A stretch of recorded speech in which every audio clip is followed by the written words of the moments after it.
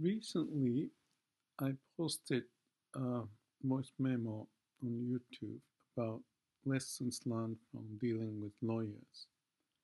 This is about lessons learned from uh, meeting women. So, having a person like Charlie Munger in my mental uh, references has been quite interesting. And more I know about him and study, more I found it interesting that his wisdom applies in so many ways. And the example of this lessons learned from women is attributed from such insight I got from him.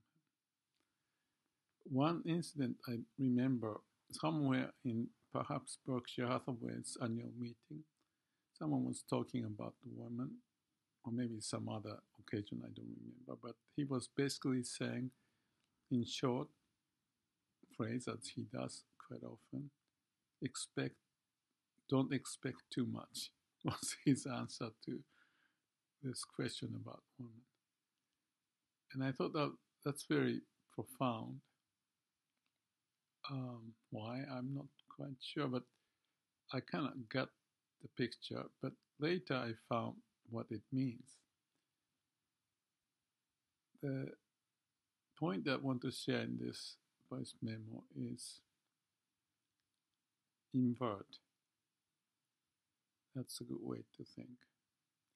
Not thinking forward, but from the end coming backward to see how it may appeal. For example, with women, there's a moment of pleasure that may come with having a wonderful woman. And that attract men, their emotion, you know, men including myself. and there are cases of, of that here and there I can easily point out. And you do things for that moment of pleasure or some expected result. And that's kind of natural because that is the stimuli to drive men to move. Sexual desire being one, and there are a bunch of others. But give an example, I have quite a few of them, but one is the Swiss woman I met, and uh, she came to my place, and there's a jacuzzi in the back and the swimming pool. And uh, prior to this, I had a meeting with her, and she enjoyed. So she came, and she actually arrived with Jaguar, an expensive car, and we were to have the afternoon, the second date, basically. And when I was preparing something, she came out without anything on the top, just a small, tiny, you know, underwear. and I got the big surprise. I didn't know what to do, so I was in the water and diving. I remember this precisely. And then, long story short, I was debating what to do and decided to, you know, play with her much later, but just do some something. I don't remember. Maybe I was just cleaning up the the barbecue set where I was going to put the uh, lobster I caught, and therefore we can spend time. In the meantime, I think the interest she had toward me, you know, went lower down because I, my reaction was not as appropriate as she thought. So I missed the occasion. We came close, but nothing happened that evening. And afterward, she was just beautiful and everything. And I was wondering, what, what did I do? And that image came back, I don't know, maybe 100 times. Sometimes in meditation, sometimes when I'm sleep, sleeping and then popped up and it bothered me. Okay, that's one example. To make a point before I go to the next example, I feel that intuition of me taking time was also a right decision if you think about it. And that's very difficult for me or the man to think about. But uh, if I bring Charlie Munger in this picture, you may be affected by certain things and make a decision. But you may pay a high price for that. I guess that's his message. As a man with integrity, and it's very difficult to think like that. But if that is wisdom, which I tend to agree after years of you know, meeting women and other instances that I went through, including this voice memo I talked about, uh, uh, lawyer, dealing with lawyer, there's a danger to get into something, especially when you are not sure what this person or entity is about. So naturally, women play this game with the attraction and you know, perfume or the wear things they wear or whatever the gesture they may have, and they, they are skillful in it. Therefore, Charlie Munger's point of uh, expecting um, what, what's the word? Don't expect too much. Is to point also that when you go through this process, you may end up paying a higher price for the little pleasure of a, you know, moment of some nature or sexual, whatever the case may be. So inverting, you know, thinking downward and coming backward and see where you are and what's the opportunity or the reward and the risk that is involved is a very insightful investment decision of your time and approach. Back. So the hesitation I had at the time was very intuitive, actually, to think through without me knowing that that was going on in my mind. That was my justification. According to Charlie's view, that was probably the right intuition I had. Um, so that you don't get into a difficulty after all for the moment of pleasure. He says he's a survivor. You know, he says that uh, you tend, people tend to victimize themselves, but he cut through it. And the word he used at the end of that little talk was, "I'm a survivor." you know, he's a survivor to be a billionaire, wise man, respected, and have great friends that he trusts. But he has to survive to get there. That's the main point, and that's the meaning of his word when he, he says, "Don't expect too much." Simple sentence, few words, and I didn't I was laughing. I could get the nuance of it, but not to the degree which took place. Like I start to realize it after I don't know how many months after I listened to his saying. He's like a Zen monk in a way, just say sharp word without explanation. If you get it, you may get it. If you don't, you never get it but just laugh and pass by because at the end you have to execute what you learn. Otherwise, what's the point of getting the point? It's no point. so, interesting issue about this, my feeling at the time, and then agonizing night and the time I had of why didn't I do what I could have, kind of thing, with this woman. Give me an, give you another example. Was the case of a more recent one, actually, and this is also interesting that uh, I met this woman. We had a time at the beach. She invited me to her place, and we had a nice afternoon. And in that period of the first meeting, actually, I met her like seven years ago prior to this I didn't remember, but she did remember in this little town. Anyway, the point is that I was suddenly attracted to her as if I was falling in love, which I really felt. Oh, this is profound. And the moment happened, I may have mentioned this somewhere else, that uh, I thought the blonde hair that I saw in the sun looked just gorgeous And I was picturing how wonderful I have her with me to wander around the town or maybe visiting my friend in Japan and traveling. And I thought I can go many places with her.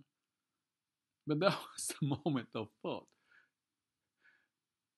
She was not, uh, uh, you know, topless or anything. She was just uh, behaving. And she gave me a tangerine and peeling up, you know, on her in her hand and give it to me. And, and not many women have done it because usually they just hand out the tangerine so that I can peel off. That's easier. And and those little gestures and the sight in the sun triggered me that oh, this is a marvelous moment. So what happened afterward was that I still was not moving fast and saying anything. I was just observing and figuring out what's going on and uh, assessing the situation, which is the right attitude about investment or the doing things in life, which is an investment of doing, resulting in your time and energy. And it's not the equation of uh, risk and reward and you know things like that. It's much more intangible, emotional, and attraction is very difficult to quantify because you get drawn into it. Therefore, the love is blind. And I really felt like it. But we left thinking that we meet again, and she wanted to meet and all that. And wonderful, you know, afternoon. You know, five six days later, when she came back from the town, she sent me an email saying that she found another man, or she knew this other man, and she just reconnected, and therefore I was ditched.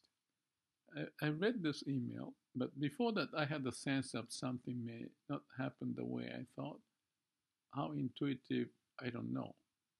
But I already agonized that why didn't I say something more to open up my heart, so to speak? But I was playing cool, thinking I have time.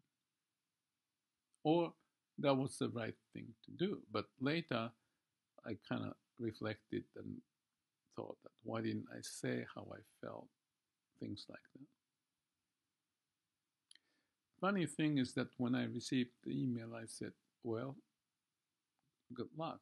I sincerely felt that uh, she that's the right thing to say even though part of me, you know, I have mini me within me, you know, this mini me is saying that why not?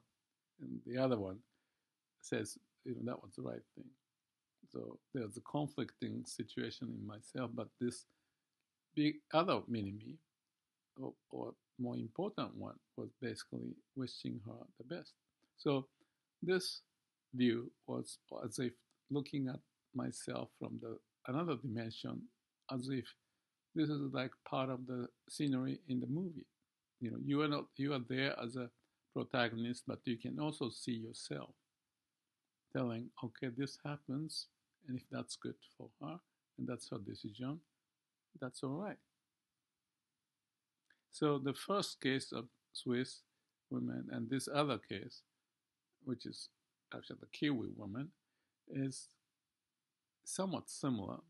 The, the, the, the, the idea of sexual appeal or the idea of, you know, friendliness and happy time look different, but in essence, it's kind of the same. And therefore, I bring back Charlie Munger, expecting not much. Be realistic.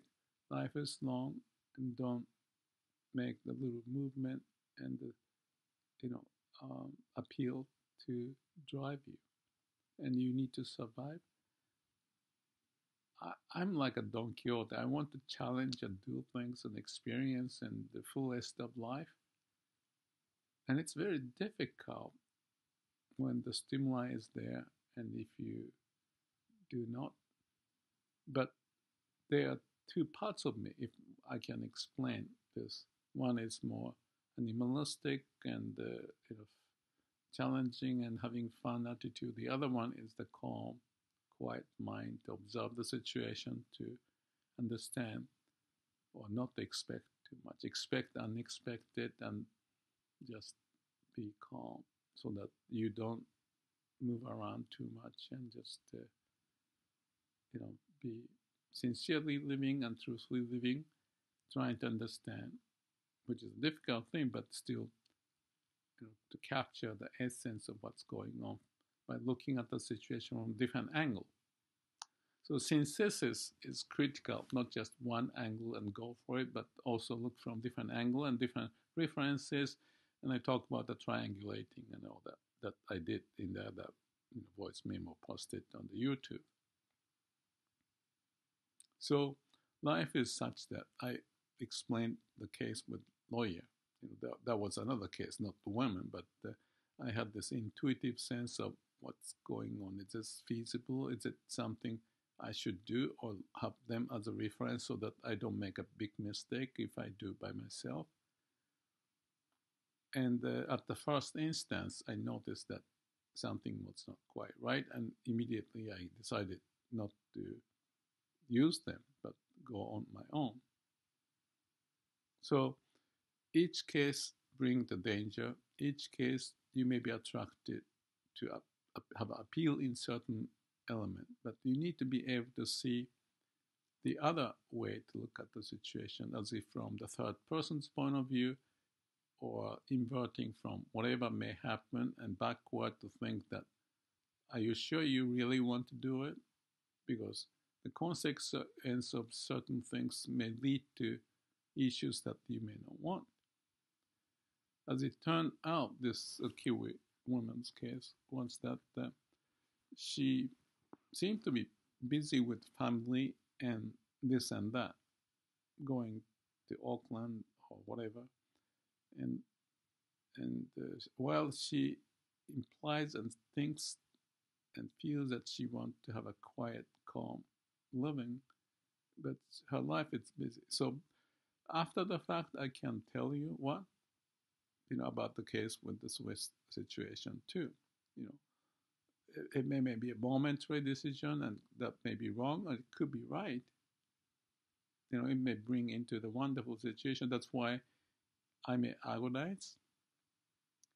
But at the end, there's no end to this probably, but uh, what Charlie Munger says about don't expect too much. Well, maybe especially women may not be the right sentence, but uh, I'm applying that idea in this case because it's not fair for women if I say it out loud. But at the same time, the structure is such that uh, you know, some women may want to, or most of women may want to attract men doing whatever technique and ideas that they can bring into.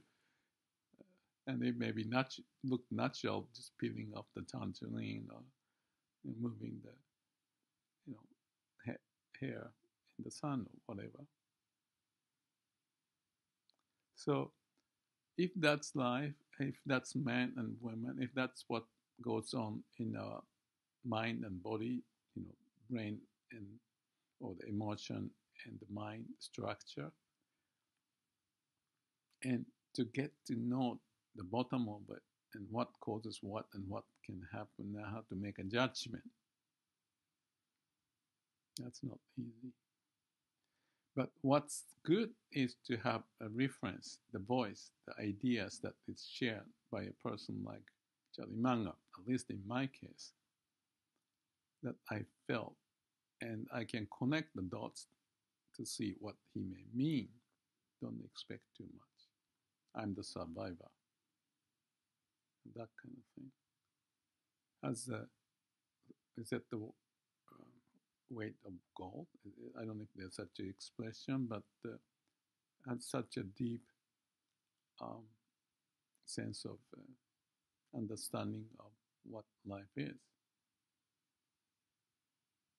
So recently I went through these experiences, the lawyer, I figured out there's an issue about the lawyer too. And I think there was something Charlie Munger said about it that lawyer can argue about this and that and twisted issues to resolve.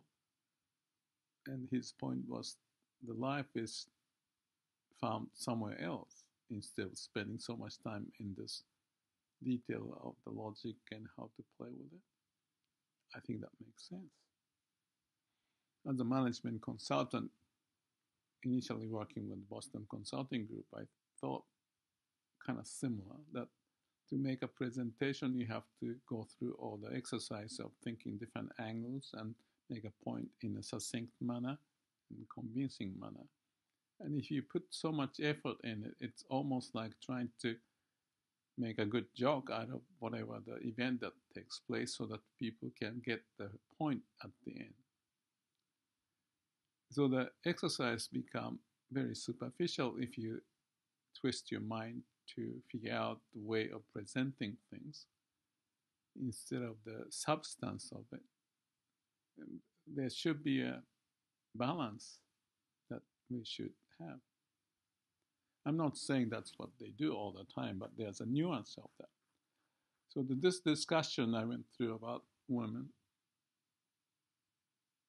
it's just a representation of some of those nuances that we may need to detect so that we avoid the pitfall, the traps. Although it could be a very nice, sweet trap that you want to fall into at times. But the risk of doing that could be also profound. And therefore, let's go back to this key point that I said elsewhere.